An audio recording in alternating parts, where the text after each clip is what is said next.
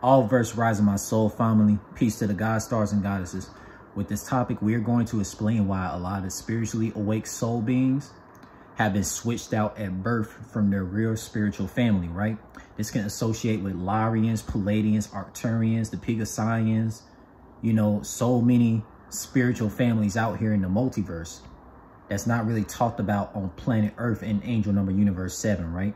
And with that information I just shared you right there about Arcturians, Pleiadians, Lyrians, and the Pegasians and etc. spiritual beings in our multiverse, that just shows you that I got switched out at birth from my real family, right? So let's say, for example, right? You know, there's a term called a black sheep, right? But let me let me go deeper on this, right?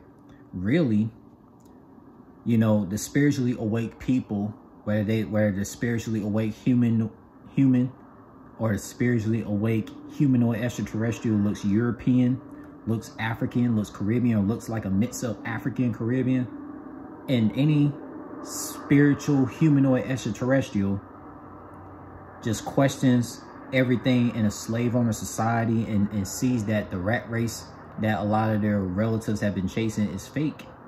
That's going to make that spiritually awake person realize that they are the octopus of their biological family that they was put in so they could so these spiritually awake people could not connect with their spiritual family at birth. Because look i'm gonna tell you right now when i was birthed into existence my energy level was super duper high.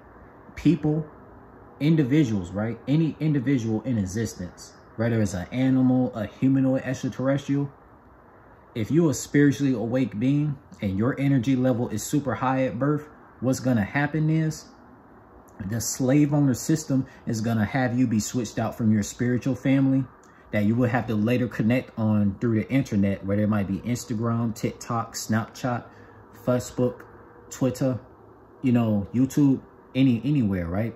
And you as a spiritually awake being had to go through so much suffering, you know, with biologically people biologically related people that was that was like handpicked for you at birth through a social security number and a birth certificate, right? I'm gonna tell you right now, a lot of us spiritually awake beings, we have birth certificates and social security numbers. That's not who we are, you know?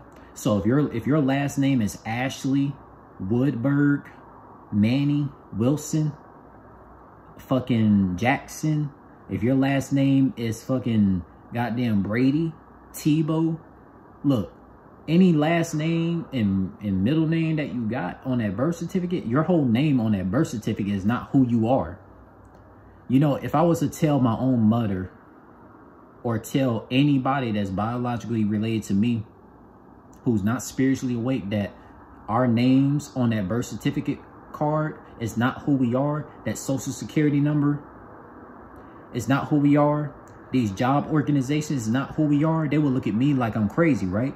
So I would be like the octopus in a family full of wolves, right? Because, you know, octopus and, and wolves, they have different characteristics. So they can't, they can't really connect together, right? So you as a spiritually awake being, realizing that that name on that social security card, that name on that birth certificate is not who you are. And you realize that these last names is not who you are, right? Because so many, so many sleep humans, so many sleep zombie humans, synthetic clone humans on Earth be talking about, oh, oh, my last name is Ashley. Oh, my last name is Jackson. Oh, my last name is Wilson. Oh, my last name is, is Snickerdoodle.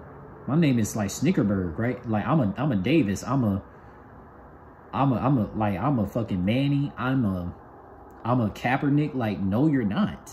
You're not these last names. Like, come on. Like, any real spiritual being knows that these last names, like your first name that, that was given to you at birth, that that first name, middle name, last name that was given to you at birth by your parents, that's not your real actual name. Why do you think a lot of musicians they they give themselves a name because it's it's through their own cosmic intuition of their own cosmic source from the spiritual family, right? Because realistically, we're supposed to give ourselves a name. We're not supposed to let somebody else give our give us a name because that would be like slavery, right? It's just like in slavery. You know, a lot of melanated slaves a lot of European slaves, a lot of Asians, a lot of Asian slaves. They had last they had names from first, middle, and last name forced on them, right? So if you're like any nationality, if you're a European person, an Asian nationality person, an African Caribbean nationality person, and and whatever your whatever your name is on that birth certificate, that is not who you are. And if you tell your own father and mother or or whoever it is in your biological family that's not spiritually awake, that the that that name on that social security card and that birth certificate is not who you are, they'll look at you like you're crazy because you question everything in existence. We're supposed to question things in existence. We've been we've been doing that in the whole multiverse for so long. So many spiritual beings have been questioning things in planet Venus, Pluto, planet Sadala, planet Azodio, planet Laria for so long. Every planet in the multiverse from Angel Number Universe 1 through Angel Number Universe 25 and beyond. We spiritually awake soul beings been questioning everything, right? Imagine this, the name that I was given at birth, the name I was given at birth on a birth certificate, that's not who I am. I know that came from some slave owners. I knew that.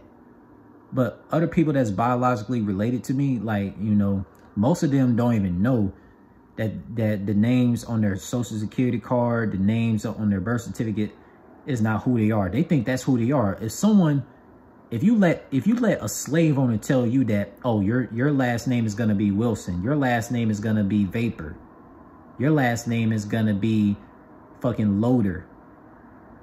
You know, if you let any sla slave owner give you a name man, that says a whole lot about your your your your courage.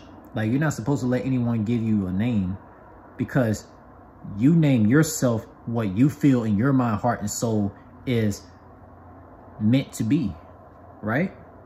So like like when you think about people that name themselves like young Pharaoh or some like young Pharaoh before he got cloned, you feel me? I'm gonna tell you right now, young Pharaoh like the birth certificate on his name, the, the, the name on his birth certificate, that's not who he was. Young Pharaoh found out his name was Young Pharaoh through spiritual esoteric teachings from intuition of inner work. When people do a lot of inner work, spiritual inner work, look, they find out that their real names is who they is, is what they come up with themselves, right? So the name I came up with myself that you all that that a lot of you spiritual people already know me by that's not on my birth certificate, you already know that I did a lot of inner work with myself, right? Like, come on, man. Like, cause like I know, bro, a lot of individuals that spiritually awake, when they see when they see on a birth certificate that their that their name is like Jaden Daniels or Michael Penance or, their name could be John Ross, they know that that spiritual people, they know that the, those names on those birth certificates is not who they are. So if my name was John Ross or Jaden Daniels and it was on a birth certificate, I know that's not who who I who I am.